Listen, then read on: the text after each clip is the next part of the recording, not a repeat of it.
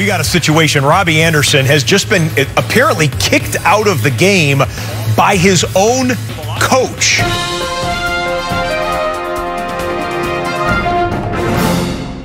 Nur der wirklich brave Hai isst gerne seinen Haferbrei und Robbie Anderson, na, der war ganz offensichtlich nicht brav, wurde von seinem neuen Headcoach in Carolina vorzeitig duschen geschickt. Bei manchen Spielern wünscht man sich das ja nahezu. Die NFL, die steht jedenfalls Kopf ob der neuen Kräfteverhältnisse und überraschenden Ergebnisse, ist aber bei weitem nicht das einzige Thema. Ganz im Gegenteil, im österreichischen Football ist einiges los an diesem 17. Oktober 2022. Es ist gleichzeitig der 50. Geburtstag Geburtstag von Eminem und wer sich jetzt alt fühlt, der darf dranbleiben. Wer sich immer noch jung fühlt, der darf natürlich auch mit dabei sein zu einem weiteren Wort zum Sonntag, an einem wunderschönen und sommerlichen Montag in Wien-Meidling. Vorausschicken und ankündigen möchte ich heute zwei Gäste zum Thema NFL zum einen, aber auch zum Thema Football in Österreich. Und mit dem österreichischen Football möchte ich auch beginnen und da mit dem Herrn Nationalteam. Wir haben ja vor einer Woche Frankreich in Marseille geschlagen in der EM-Vorrunde und haben jetzt die besten Aussichten, nächstes Jahr in dieser langen EM ins Halbfinale einzuziehen.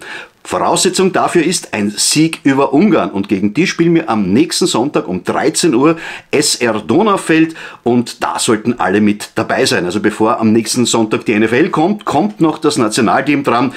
Ungarn ist am Papierform nach jetzt äh, sind wir der Favorit gegen die, allerdings der Papierform nach waren wir auch gegen Italien der Favorit und haben am Ende verloren. Also da wird der Fokus der Mannschaft drauf liegen müssen und den Gegner sehr sehr ernst zu nehmen. Wir wissen, die Fair Fairwine Throners, die haben etliche Jahre in Österreich Football gespielt haben, begonnen in der letzten Division, sind immer aufgestiegen, haben kein einziges Spiel in all den Jahren verloren in Österreich, sind haben eine Perfect Season nach der anderen gespielt und gehen jetzt in die European League of Football nächstes Jahr. Also man hat sie ja nicht in die AFL leider reinlassen, weder von Anfang an noch jetzt am Ende, wobei jetzt hätte man sie gut brauchen können. Dazu komme ich aber später noch.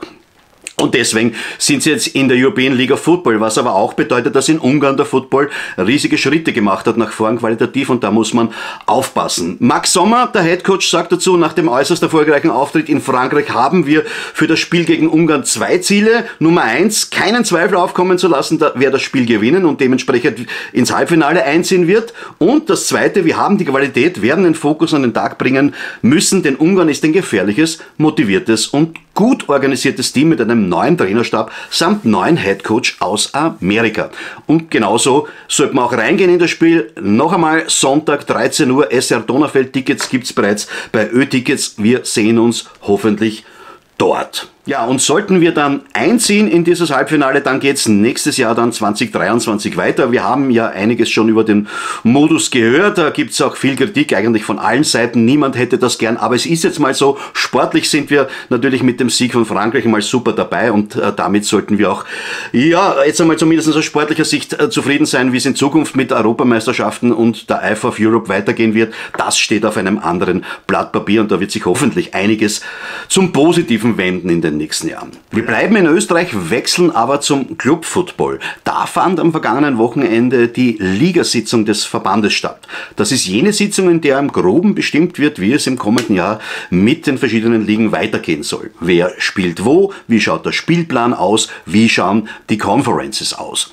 Interessante Sache. Normalerweise dauert es dann einige Wochen, dann weiß man genaueres und dann gibt es so gesammelt äh, ähm, eine Information und einen Überblick, wie die Ligen 2023 ausschauen wird. Nicht so in dem Fall. Die Kommunikationsstrategie dürfte da jetzt ähm, sich geändert haben, beziehungsweise kann es nicht wirklich eine geben, weil der Verband als Veranstalter selbst hat dazu gar nichts gesagt, was da im nächsten Jahr noch passieren wird.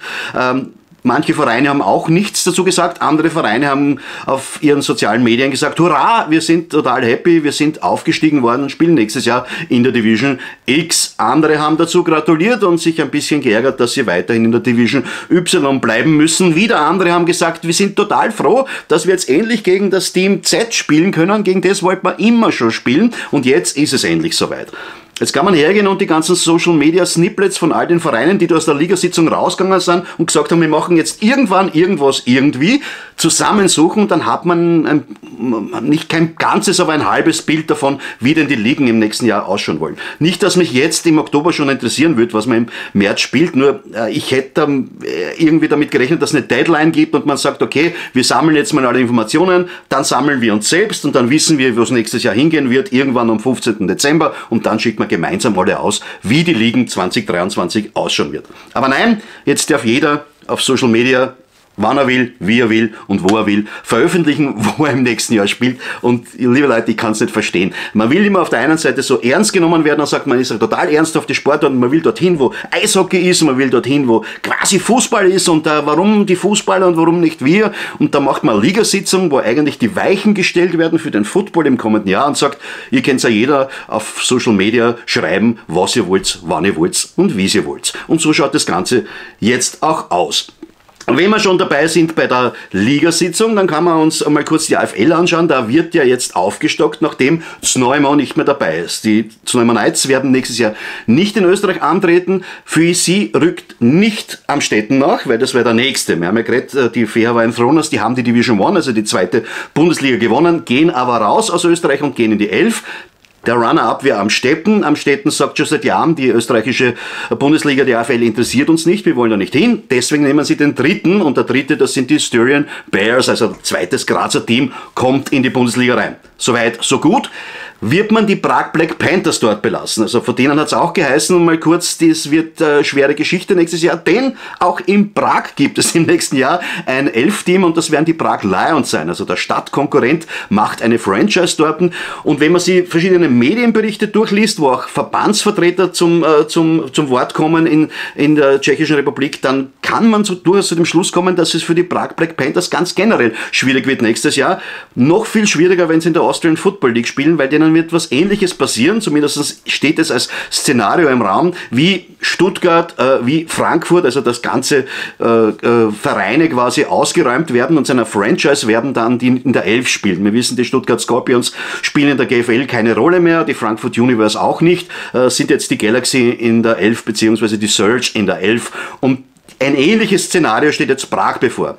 Und diese Prager Mannschaft holt man auf gut Glauben, weil sie sagen, das wird schon funktionieren, zurück bzw. wieder in die AFL und glaubt, die werden schon spielen. Und wenn man sich die tschechischen Medienberichte durchlässt, da gibt es ein paar auf der Facebook-Seite von Football Austria sind da erwähnt, dann äh, glaubt man, glauben da einige Beobachter, dass das schon im Jänner und im Februar sich so darstellen wird, dass die Prag Black Panthers eventuell schwere Probleme bekommen werden, um überhaupt spielen zu können. Und das sollte man beobachten, da sollte man irgendwie drauf schauen, dass das dann auch funktioniert, weil sonst steht man am Ende mit einer Neunerliga da.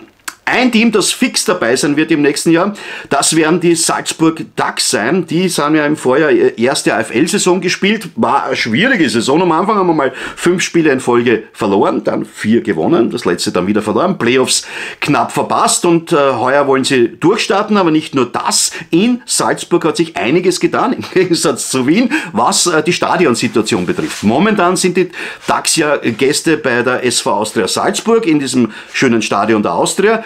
Da kann man aber nicht auf ewig bleiben, weil irgendein Stadion, da läuft der Pachtvertrag, der Mietvertrag aus und wie sich das genau darstellen wird in ein paar Jahren, weiß man nicht. Und daher haben die DAX schon längere Zeit angestrengt, dass sie ihr Footballzentrum, ihr kleines, das sie haben, ausbauen können auf ein richtiges, noch größeres Stadion, als es äh, zum Beispiel die Ravellinis und äh, äh das Innsbrucker American Football Zentrum ist. Und das ist jetzt auch passiert und die Stadt Salzburg hat eine Million Euro da zur Verfügung gestellt und ich habe Gerd Hallander, den Obfrau Stellvertreter der DAX gebeten, mir doch einiges dazu zu erzählen. Hören wir da mal rein, was die DAX selbst dazu sagen. Ja, wir sind alle total glücklich in Salzburg, dass es nun tatsächlich nach nunmehr über 40 Jahren Football in Salzburg dazu kommt, dass auch diese Sportart hier in Salzburg eine eigene Sportanlage erhalten wird und im nächsten Frühjahr am DAX-Bond in Salzburg-Liefering schon die ersten Bagger auffahren werden, um die Außenanlagen, sprich den Kunstrasenplatz hier zu errichten. Äh, weitergehen soll es dann im Herbst mit dem Bau der großen Haupttribüne mit über 1000 überdachten Sitzplätzen und allen Räumlichkeiten. Das heißt, wir werden da drinnen auch natürlich unsere Umkleiden bekommen, ein eigenes Gym, Indoor sowie Outdoor, äh, ein eigenes Vereinsheim inklusive angeschlossener Gastro, diverse VIP-Räumlichkeiten, Büros, Physioräumlichkeiten, also alles, was das Footballerherz begehrt, so dass unsere Sportler auf dem Kunstrasen schon im Frühjahr trainieren oder zumindest Anfang Sommers trainieren werden können und äh, dann die ersten Spiele der AFL im Jahr 2024 auf der neuen Anlage stattfinden werden können. Also das ist natürlich für die Unsalzburger ein riesen Gamechanger und es wird mit Sicherheit eine der schönsten American Football Anlagen in ganz Europa werden. Das traue ich mir äh, zu behaupten und für uns natürlich eine tolle Sache. Wir haben, haben die letzten Jahre ja verteilt über die Stadt Salzburg trainiert. Das heißt in Nontal, in Liefering äh, auf zwei Plätzen.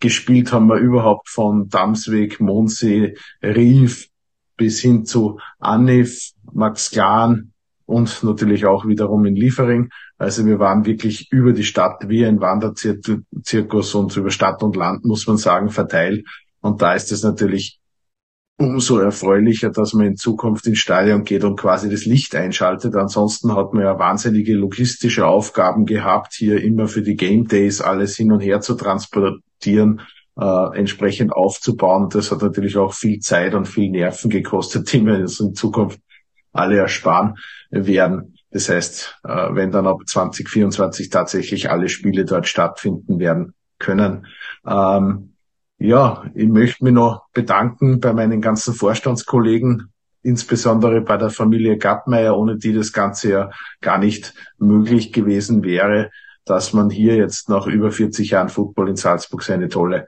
Anlage bekommt. Ja, weiters gilt mein Dank natürlich da ganz im Speziellen der Stadt Salzburg, allen voran Diplomingenieur Harry Bräuner, dem Bürgermeister, sowie seinem Stellvertreter Bernhard Auinger, der in der Stadt Salzburg für das Sportressort verantwortlich ist. Äh, beim Land möchte ich mich natürlich auch bedanken, hier allen voran beim Stefan Schnöll, dem Sportlandesrat, der uns auch in all diesen Jahren immer unterstützt hat. Und ja, wir freuen uns und ich glaube, ganz Football Österreich kann sich mit uns freuen, weil natürlich bieten wir unsere Anlage auch für diverse Nationalteam-Camps an und auch für andere Vereine, die vielleicht mal dann Lust haben, im der Mitte und im Herzen von Österreich ein tolles Trainingscamp abzuhalten. Ja, da kommt Freude auf, auch beim Blattsprecher der DAX, weil waren die Game Days als quasi Gäste der SV Austria Salzburg schon wirklich hochklassig hoffe ich doch, dass jetzt das Ganze nochmal sich verstärkt und man, ähm, wenn man jetzt sesshaft wird und ein eigenes Heim hat, da richtig, richtig eine, ja, ein Football-Hochburg in Salzburg entsteht, im Herzen Österreichs, wie er es gesagt hat, und dass das Trainingszentrum dann auch von anderen Vereinen genutzt werden kann. Jedenfalls geht in Salzburg das weiter, was man sich in Wien ja erhofft und erwünscht. Da ist man ja noch am diskutieren und da wird es ja nächstes Jahr hoffentlich irgendeine vernünftige Lösung für die Wiener Vikings geben, wenn sie dann wieder in der Elf sind, in Salzburg jedenfalls. Schaut es zumindest danach aus, als würde das in eine richtige Richtung laufen. Aber jetzt kommen wir zur National Football League. Ich war ja bis um drei in der Früh beschäftigt heute mit den Kansas City Chiefs und äh, den Buffalo Bills. War, obwohl es kein High-Scoring-Game war, eine hochinteressante Partie aber bei Weitem nicht die interessanteste. Ähm, es gibt Ergebnisse, wo man sagen muss, wer das erraten hätte, wäre heute wahrscheinlich eine reiche Frau oder ein reicher Mann. Äh, es sind äh, die New York Giants aktuell 5-1, es sind die New York Jets aktuell 4-2, also genauso wie wir es vor der Saison vorhergesehen haben nicht natürlich. Also die NFL ist, glaube ich, jetzt am Ende einer Entwicklung angekommen, die sie ja schon vor einigen Jahren genommen hat, nämlich sie möchte nicht, dass wir vorm Spiel wissen, wer am Ende es gewinnt. Und genau dort sind wir angekommen. Also es ist momentan wirklich nicht mehr möglich zu tippen, zu wetten oder zu sagen, wer gewinnt dieses Spiel. Schon gar nicht, wenn man zwei Mannschaften auf Augenhöhe hat. In Wahrheit hat man aber bei jedem Spiel zwei Mannschaften auf Augenhöhe. Man glaubt es nur noch nicht. Man glaubt immer noch, es gibt äh, den Underdog und es gibt den Favoriten. Natürlich gibt es in der Papierform nach, aber schauen wir uns einmal an, wie es steht momentan. Wir haben ja seit gestern Nacht weiterhin ein ungeschlagenes Team. Die fallen da völlig raus. Philadelphia, was macht's ihr? Ihr konterkariert den Plan der Liga. Die sind 6-0 gegangen mit einem Sieg über die Dallas Cowboys. Aber da gibt's dann Conferences wie die NFC West. San Francisco, LA Rams, Seattle 3-3. Arizona 2-4. Alle vier noch dabei. Die NFC South, Tampa Bay, Atlanta 3-3, New Orleans 2-4, okay, Carolina, haben wir ja gesehen am Anfang, den Herrn Robbie Anderson, da geht's drunter und drüber, 1-5, das wird schwierig werden. Ähm, die NFC North, äh, die nimmt jetzt natürlich eine hochinteressante Entwicklung ein, weil äh, natürlich die Green Bay Packers nach ihren Back-to-Back-Niederlagen, äh, zwei, zwei Heimniederlagen, weil in London waren sie Heimteam, wann Quizfrage. Wann haben die Packers in der Ära Matt LaFleur zwei Heimspiele in Folge verloren? Noch nie. Jetzt ist es aber soweit gewesen, man hat gegen die Mighty New York Giants und auch gegen die großartigen New York Jets, und das sage ich jetzt ohne despektierlich zu sein, die sind richtig gut, verloren und ist jetzt am zweiten Platz hinter Minnesota. Minnesota 5-1, Green Bay 3-3, Chicago 2-4 und Detroit 1-4. Also im Prinzip ist das eigentlich äh, fast schon Gmade Wiesen, sollte man sagen, für die Vikings, wenn Green Bay sich jetzt nicht mehr erfangen sollte. Die NFC East war mal die NFC Least, ist mittlerweile eine der stärksten Divisions überhaupt. Philadelphia ungeschlagen, 6-0 dahinter, die New York Giants 5-1 und die Dallas Cowboys gestern nach der Niederlage gegen Philadelphia 4-2 und Washington mit 2-4 ein bisschen weg. Äh, ähnlich das Bild äh, in der AFC, in der North haben wir Baltimore und Cincinnati, beide 3-3 äh, und Cleveland und Pittsburgh 2-4. Also eine völlig offene Division. Die AFC East wird dominiert natürlich mit dem Sieger vom gestrigen Puls 4 Spiel am Abend, den Buffalo Bills. 5-1 stehen die nach dem Sieg über die Kansas City Chiefs und 4-2 die Jets am Weg Richtung Playoffs, you never know. Aber auch Miami hat noch Chancen und New England weiß man nie, wo es hingeht. Sind auch 3-3, also eventuell. Wir haben jetzt sechs Runden gespielt, beziehungsweise es ist heute noch ein Monday Night Game ausständig. Wir wissen eigentlich in Wahrheit gar nichts. Und das macht Riesenspaß. Die ganze NFL ist, ja, jetzt durchzogen mit einer Unvorhersehbarkeit, die richtig, richtig viel Spaß macht. Weniger Spaß macht macht's dem Richard Durkovic. Ihr kennt ihn vielleicht noch nicht alle. Ein Freund von mir und ein, ein Typ, der sich ja in allen möglichen Sportarten super auskennt. Jetzt demnächst auch im Schach, wie ich gehört habe. Und der ist ein riesen Kansas City Chiefs Fan. Richard Durkovic, bitte kommen. Ich muss mir jetzt was zum Essen machen, während ich das Video schneide. Wie war das gestern Nacht mit den Chiefs? Hm? Kansas City Chiefs 20, Buffalo Bills 24. Da ging sich kein schöner Last-Minute-Drive von Patrick Mahomes mehr aus, denn die zweite Interception des Spiels, die sollte dieses Ergebnis schlussendlich besiegeln. Äh, ja, man kann jetzt natürlich äh, aus Kansas City Sicht behaupten, an den Interceptions ist es gelegen, es war ja bereits die zweite in diesem Spiel. Ähm, kann jetzt natürlich dahergehen und sagen, das Missed Field Goal von Harrison Butker war der Grund bei einer Vier-Punkt-Niederlage weiß ich nicht, ob man das wirklich so argumentieren kann. Speziell Harrison Butker davor mit seinem 62 Jahre den erst letzte Woche neu aufgestellten äh, Franchise-Record ähm, übertroffen hat. Ja, letztlich muss man es wahrscheinlich eher so sagen, das war jetzt einfach eine starke, starke Leistung von der Buffalo Defense, die das ganze Spiel hindurch jetzt äh, kontinuierlich gut Pressure aufgebaut hat. Ähm, erwartet hat man ein High-Scoring-Game, de facto wurde es dann, also ein wirkliches Low-Scoring-Game auch nicht, aber ja, gibt's nicht viel Großartiges zu sagen. Die Buffalo Bills haben ziemlich gut und klar ja, wie gezeigt, dass sie den Nummer 1 Seed in der AFC völlig zu Recht haben. Und äh, ja, spannend wird es natürlich sein, ob die zukünftigen Gegner der Chiefs diesen Gameplan der Bills äh, auf der Defensive-Seite auch so umsetzen können. Das ist ja durchaus schon mal vorgekommen, dass sich die gegnerischen Teams eingestellt haben darauf, wenn eine Defense, äh, eine Defensive ähm, Change ausgewirkt hat auf das Mahomes-Spiel und das kann jetzt natürlich wieder passieren. Aber es kann jetzt natürlich auch einfach sein, dass dieses Spiel letztendlich gezeigt hat, da sind die zwei stärksten Teams der AFC aufeinander getroffen und eines der beiden hat halt gezeigt, welches das stärkere ist. Ja, Panik ist noch keiner angebracht unter Chiefs-Fans, aber wissen darum, wo man steht und äh, kein Satz ist danach äh, gegenüber Chiefs-Fans jetzt am häufigsten gefallen als man wird sie ja wahrscheinlich nochmal treffen.